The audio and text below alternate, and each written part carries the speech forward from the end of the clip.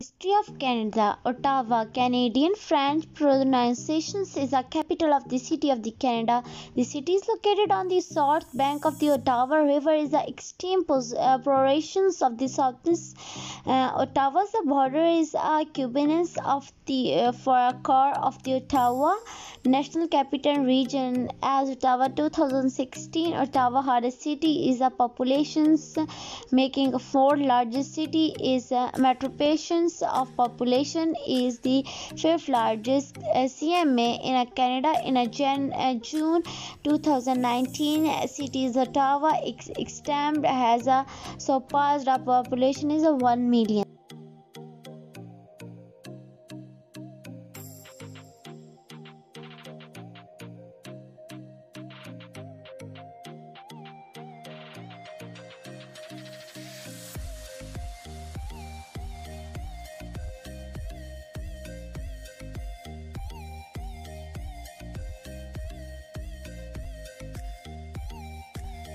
most educated population among Canadian cities, the home number of the colleges, university research, uh, circular institution, and included National Gallery, Canada, and others National Museum.